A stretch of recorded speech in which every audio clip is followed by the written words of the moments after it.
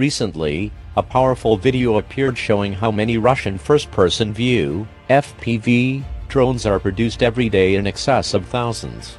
The widespread belief in the West that Russia lacks the technological capacity to enable such a large output is refuted by this visual evidence.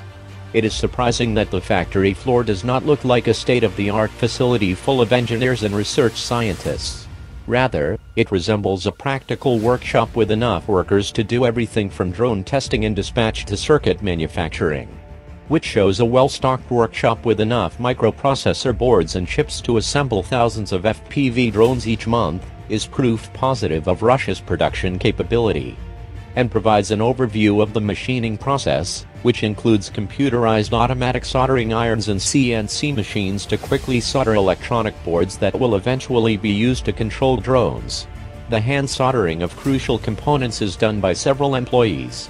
The Russian FPV drone production is decentralized, happening in multiple locations across the nation, a voice in disguise says. That follows is impressive, showing a well thought out storage system with thousands of ready drones stored on vertical racks.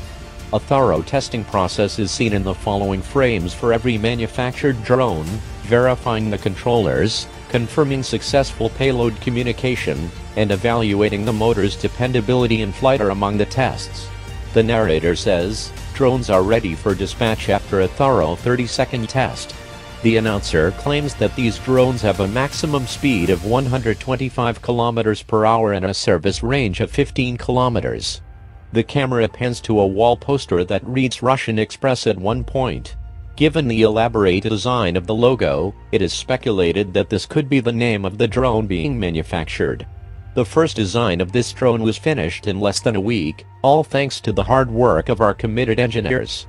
Another voiceover revealed that production commenced across a variety of small and large commercial and state-run agencies, illuminating the hitherto hidden scope of this project. Highlights an important feedback loop that exists between the production unit and the Russian frontline forces, any operational hiccups are fixed in less than a day or verifies that 20 Russian businesses are involved in this initiative's drone production, producing more than a thousand drones a day as a whole.